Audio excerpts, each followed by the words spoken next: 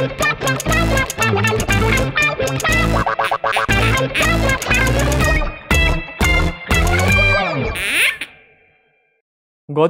what is the correlation between these toothbrushes and your mood, yaar?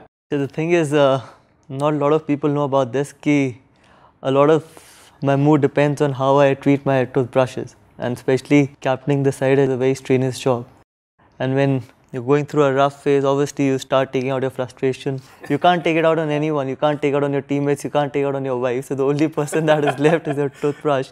So if it's in a bad shape, obviously I'm taking out my frustration on it. When I'm in good mood, when things are going well, especially on the personal and on the team front, then obviously keep them But light. when Shah Rukh Khan says इस player को लेने का है तो this must be the toothbrush, right? और जिसको मेरे को नहीं लेने का है तो फिर 100 percent I think I been very fortunate on that front कि Shahrukh has never pressurised me on any front because he told me this thing that if someone tells him how to act, obviously he gets really furious about mm. it. And he keeps telling me the same thing that I would never want to interfere in any, especially in your profession because you're the best judge about what you want to do. अगर मेरे को किसी ने कभी acting सिखाई obviously he would have got really furious and it's vice versa. So normally he never interferes and I've been very fortunate on that front. Gauti, I'm going to show you something and I'm sure there is something that you will feel special about it.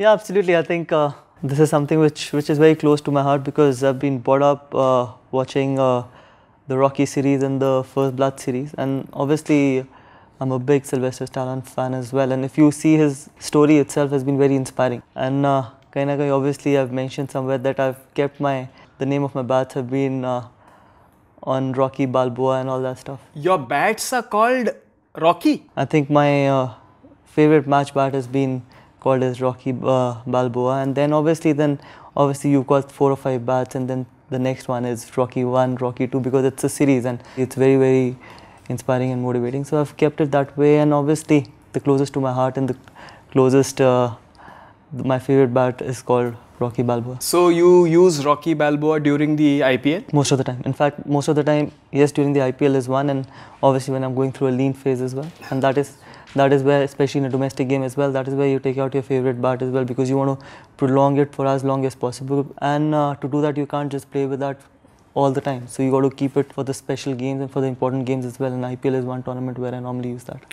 You know, one of the interviews I read that you get very angry when people ask you passes for a match. Is there a reason behind this? People go crazy. So I don't know. There's something wrong with telling people that they only need complimentary passes, and that's that just becomes a habit now. Even if tickets are available, there's there's something in, in those people that they just look for complimentary passes. Even if you don't know someone, they'll try and take out some relationship somewhere.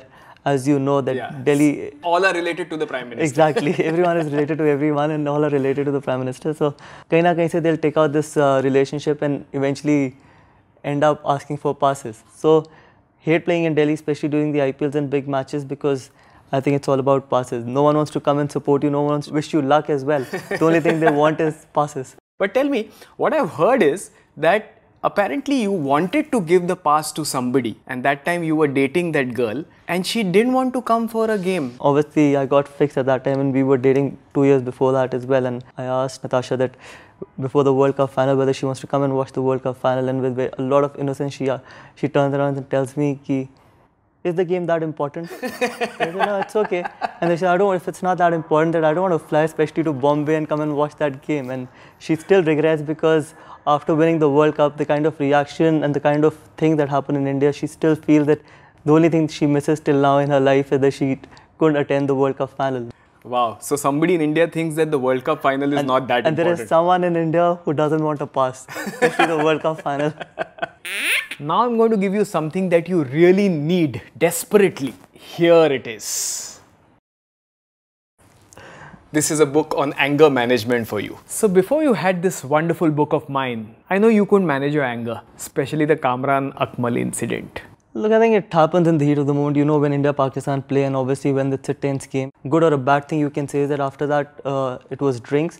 और drinks में जो भी लड़ाई हुई वो drinks में भी but क्या हुआ कि नियो ने वो ड्रिंक्स भी ऐड की जगह हम दोनों की लड़ाई दिखा दी. क्या बात है. ऐसी टीआरपी कैसे मिलेगी कैन यू सर इमेजिन दोनों को लग रहा था कि हम बड़े सेंसिबल है कि हम ड्रिंक्स में लड़ाई कर रहे हैं जिससे किसी को पता नहीं चलेगा लेकिन बाद में लगा कि यार उन्होंने ऐड ही नहीं दिखाया इससे पूरी फाइट दिखा दी है. मगर बात हुई क्या थी? Master tried playing a shot and he appealed in a big way. I told him कि यार there's no point appealing because ऐसा कुछ भी नहीं हुआ तो obviously वो मैं हिंदी भाषा में नहीं बोल सकता what he said and what I said. But then obviously we we just got into a heated argument and then just got from bad to worse. Since we are talking about anger management, we're going to do a small activity and I'm sure it'll make you calmer. I'm going to take out some angry lines and you have to say them very very calmly.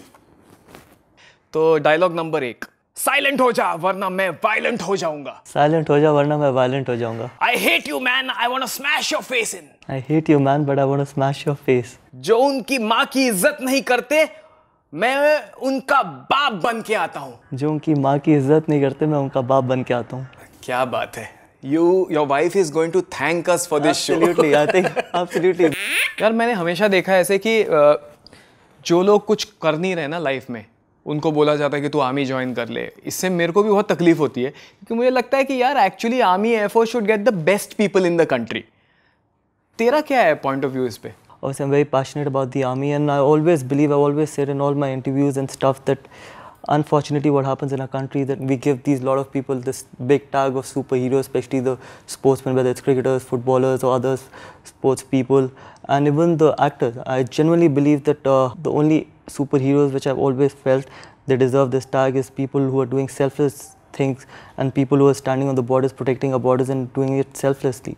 Look, I think the most important thing is that we might have won the World Cup and brought a lot of smile or happiness to people just for that one day or for a couple of days. But none of the sportsmen or the actors have tried to change the society, let's be honest, and they've not tried and changed anything which could uh, help a common man. But if you see people working for the defense forces, how much they do for us, in fact, and that also selflessly for nothing. So I genuinely believe that the superhero tag, which has been given to a lot of people just for the heck of it, they don't deserve it, and the only people who deserve it are people standing uh, or people who are working for the defense forces. Uh, when it comes to cricket, I believe players are very, very superstitious. Well, actually, you know, very interesting story. Uh, Neil McKenzie from South Africa, his uh, bat was once hidden by all the players, and one of the guys actually kept it on the ceiling. And when he found out, he took that bat, went into bat, and scored a hundred. From that day onwards, all next matches he used to make sure that the bat was strapped to the ceiling, and then he took it back and scored runs with it. Can you imagine the kind of superstition? You also are like that, na? You changed your number once, I believe. Look, that's also a very interesting story. I, uh, 2014, when we won uh, IPL for the second time, I had scored three ducks and one run in UAE. And obviously, it was a nightmare. And uh, scoring one run in four games and captaining the side was very, very tough. Now I can laugh about it, but that phase had taught me a lot of things. Maybe one good thing that happened in that phase was that I was captaining the side. And when you're captaining the side, obviously, then you start forgetting about your personal performances. As soon as you end up uh, getting out, obviously, then you start thinking from the team's point of view. But you, if you're only playing as a uh, player, then you keep thinking about your performances. So that could be one good thing about captaincy. It helped me take off my mind from my personal performances. And I was coming back, and I still remember Robin telling me that someone had told him, I need to change my number from 5 to 23. Obviously, I changed it, and then I got four or five 50s in a row, and we ended up winning winning the IPL. So, but I'm not going to give the entire credit to number 23 because I still feel it was not me, it was the entire team that had helped us. We had won the IPL, it was only because maybe the team helped us. Yeah, because I saw those games 0 0 0 1 and then 5 50s. I said something special must have happened, yeah. Yeah, one special thing that happened, my daughter was born. And as soon as I came back from UAE, obviously, I went straight to the hospital. It is such a touching thing that I landed in the evening, went straight to the hospital. Obviously, Azeen uh, was born late, early morning, and then uh, had a flight at 9 o'clock to Ranchi. I was in my KKR clothes to spend the entire night in my KKR clothes. Went in the morning to Ranchi because there was only one flight to Ranchi, and then we were playing the next day. So I couldn't have played that game if I wouldn't have uh, uh, taken that flight. And then from there on, obviously, made five half centuries, then we ended up winning the IPL. I can assure you one thing it's not the number 23, it's Azeen. Absolutely, and I, I and uh, that's why I said that I don't want to give the entire credit to 23. First, I want to give credit to uh, the entire team, and second, the most special thing that has happened in my life. Gauti Gary Kirsten ने मुझे बताया कि वो तेरे को banker बोलता था। उसके बारे में बताना हमको जरा। ग्यारी ने मुझे बैंकर इसलिए बोला था बिकॉज़ मेरे को लगता है ग्यारी और मैं बहुत सिमिलर कैरेक्टर्स थे। जब जो का रोल था साउथ अफ्रीकन टीम में कहीं ना कहीं वो मेरा भी रोल था इंडियन टीम में विद जिस तरीके का हमारा बैटिंग लाइनअप था। तो कहीं ना कहीं उसने यही बोला था कि मेरा जॉब था टू अक्यूमुलेट रन और जितने ज़्यादा से ज़्यादा दैट्स वे उसने मेरे को इनाम दिया था बैंकर का जो उसका खुद का नाम था जब वो साउथ अफ्रीकन टीम में था। अच्छा। और एक बड़ी इंटरेस्टिंग स्टोरी है कि न्यूजीलैंड का टेस्ट मैच था अहमदाबाद में। और पहली इनिंग में मैंने बनाए होंगे कि 25 तीस रन सेकेंड इनिंग में। आई थिंक पहली बॉल पर आउट हुआ क्रिस मार्टिन के। तो मैं ग्यारह के पास जाके बोला कि मेरा कॉन्फिडेंस बहुत लो है तो मेरे को फ़र्स्ट क्लास क्रिकेट जाके खेलनी एटलीस्ट मैं थोड़े रन बनाऊँ और वापस आ जाऊँ।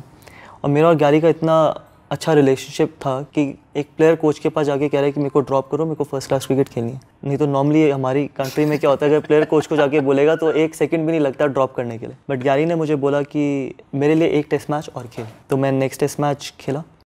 उसमें मैंने बड़े स्क्रैची 50 ऑट बनाए थर्ड टेस्ट मैच खेला 70 ऑट बनाए। उस जब 70 ऑट बनाए तो मेरे को कैप्टन बनाया गया फाइव वनडे सीरीज़ के लिए न्यूजीलैंड के अगेंस्ट उसमें मैंने दो हंड्रेड बनाए और मैन ऑफ़ द सीरीज़ क्या बना बात है। वापस उधर उसके बाद साउथ अफ्रीका गए।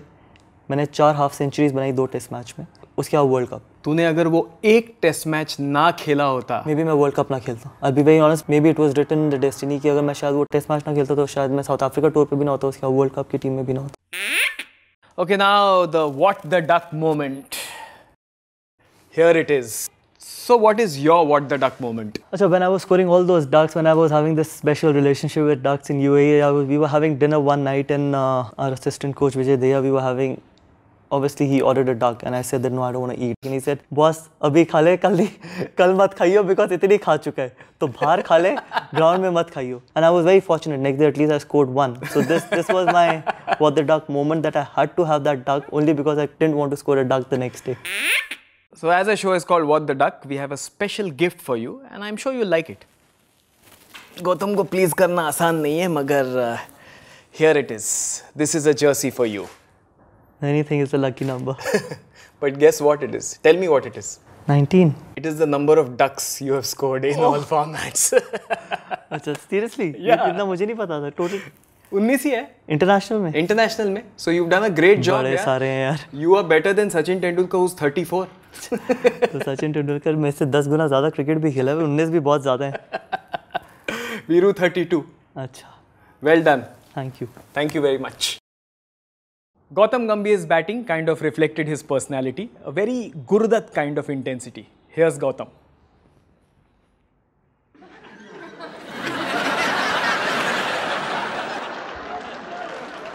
Meanwhile, Sourav Ganguly adjusted his contact lenses based on the intensity of the bowler. Here's Dada.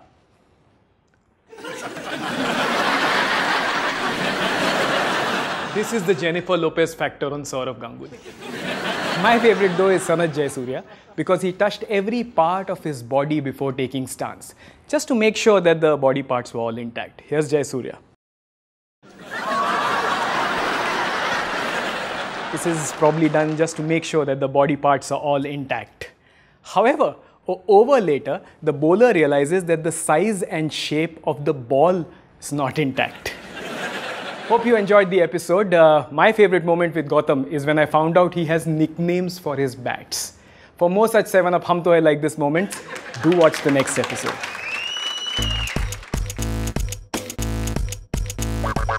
मेरा एक दोस्त था सिडनी में जो वहाँ पे टैक्सी चलाता है तो उसकी स्टोरी बहुत बढ़िया है उसके साथ गोरी फंस गई तो उसके वारे न्यारे आ गए वो कहता वाह यार ये तो मतलब ज़िंदगी बन गई गोरी फंस गई। तो गोरी का मैसेज आता है उसको एक दिन honey I am missing you as desert miss the rain अब पंगा पड़ गया वहाँ पे कि मैसेज तो आया खुश बड़ा है पर समझ नहीं आया क्या है। तो घर गया बंदे से दूसरे से पूछा वो भी हमारी तरह ही था पढ़ा लिखा बंदा था वो भी कहता कि "तो यार इसका मतलब कहता रुक इसको ना ब्रेक करते हैं।